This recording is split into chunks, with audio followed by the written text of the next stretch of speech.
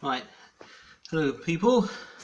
Today I'm going to show you my football badges, Esso football badges of 1971-72 vintage I believe, and my official England squad 2006 collection.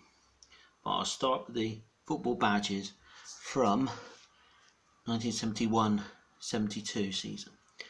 This was a collection of 76 badges from Esso. Um, it says here came with two free badges, 20 uh, starter packs as well were offered to 20 pence. Those were the days.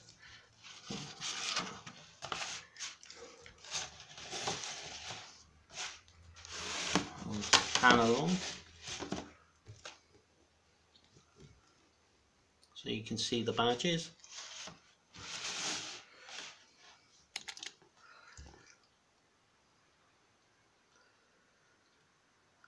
Can you see those? You've got starts at Aberdeen, Arsenal, didn't have Aston Villa, and uh, I'll pan along so you can see.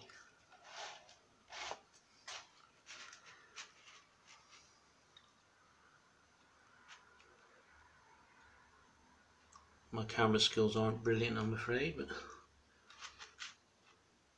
hopefully you'll see your team and the the badge that they had in the early 70s some of them haven't changed. Some of them have changed. And some of them like the Wolves one slightly different now isn't it?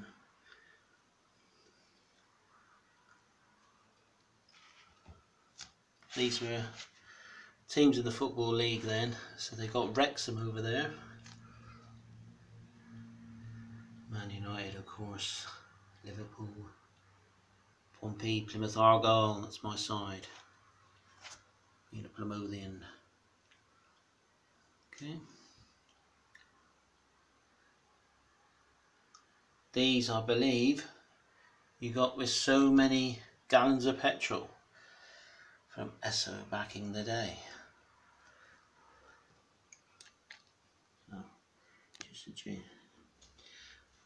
Just the gimbal. So there's that one. The Esso football collection. Put that to one side. And here we've got which I'm sure many of you have the England squad 2006 World Cup. A word from Sven From Portugal to Germany. Um, actually, I managed to get all of these. And if I remember rightly, a lot of these weren't even in the team. But as they plan it months in advance, they don't know who's going to be in the side actually, or in the the squad.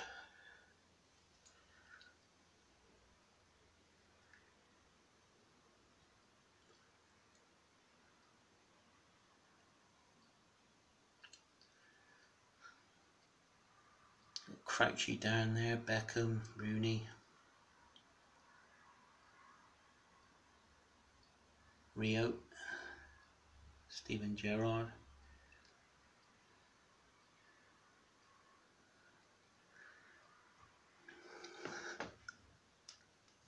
About 13 years now. Amazing.